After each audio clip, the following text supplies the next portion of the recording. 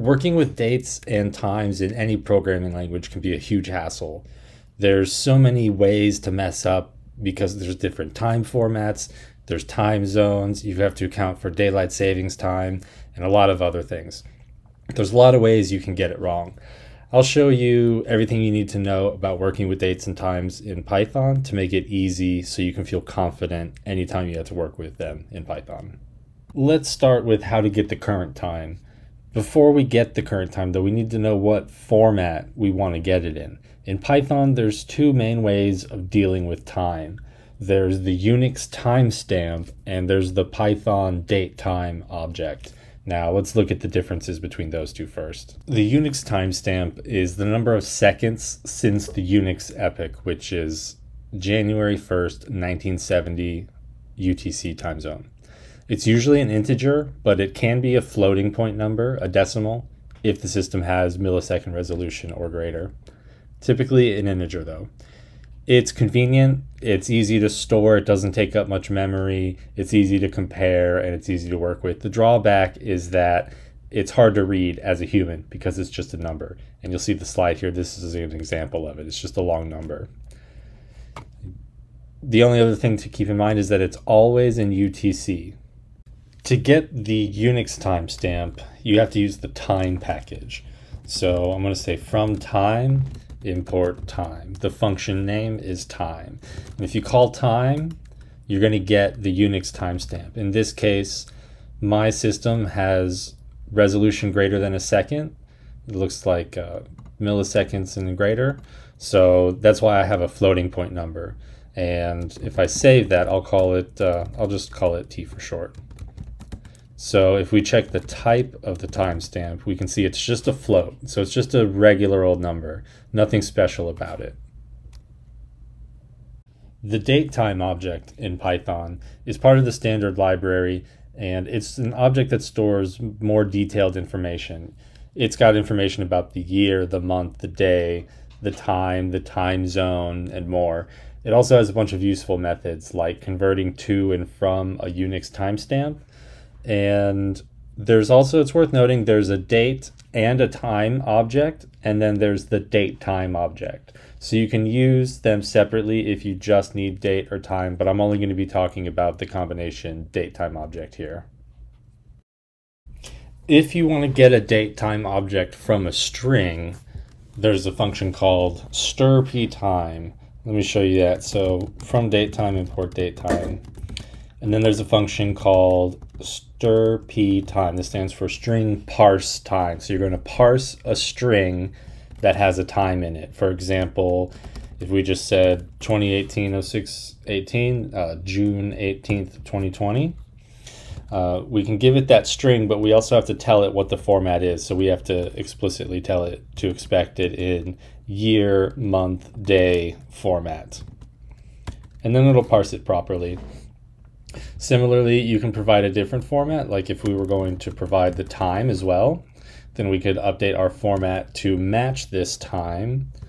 So we're going to do percent %s colon percent %m percent colon percent %s. Now, now it knows, okay, uh, day, month, uh, year, month, day, and then hour, and then minutes, and then the seconds. It stores the seconds as well, but it looks like it's just zero, so there's nothing there. So that's how you can get the time. And then let's uh, let's just store it as a variable so we can reuse it. And then if we wanted, we can get the ISO format, or we could get this the common time format, or if we wanted, we could uh, use strftime to output it as some kind of special format, like if we just wanted the year. Another common thing you'll need to do is calculate differences between times or get an older time or a time in the future. For example, what time was it 24 hours ago? Or what time is it 30 days from now? And you can do this using a convenient object called time delta.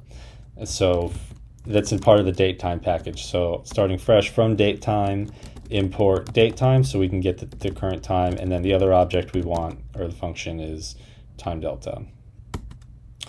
Then for example, we can say three days ago equals now minus a time delta of days equals 3. And if you if you read the help info down here, you can see there's days, seconds, microseconds, milliseconds, minutes, hours, and weeks. So you can find a time delta for whatever you want pretty easily. And then if we inspect three days ago, we can see that is June 15th, which is three days ago from June 18th. And likewise, if we wanted to do a time in the future, we could just add a time instead of subtracting it. If you ever subtract or add two date time objects from each other, then you're going to get another date time object. I guess you can't add them, but this is more applicable when you're sub subtracting. Most notably, I'll give you an example here. Uh, we'll say, well, like if you're benchmarking something, you want to get the start time some before it starts, and then you want to do something, and you want like already I'm just talking, so it's going to take a couple seconds. So then we can say end time equals now. Then we can say start time minus end time.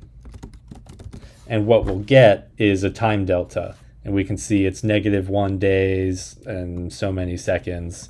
Um, but what I want to do here is I'll save that value. I'll call it the, the diff. Make sure I got it. Yeah, so then we can say diff dot total seconds and that'll give us the total seconds. It's negative because I, I added it backwards or subtracted it backwards. It should be end time minus start time for everybody who caught that. Quit laughing at me. So when you have, you want to do your delta this way, you want to do end time minus start time. Uh, then you can get your delta, we'll call that diff equals underscore now. So now we've got a delta of eight seconds. Now if it was several days, and instead of getting it as days, you just wanted to see it as seconds, you can use total seconds, and that's a function.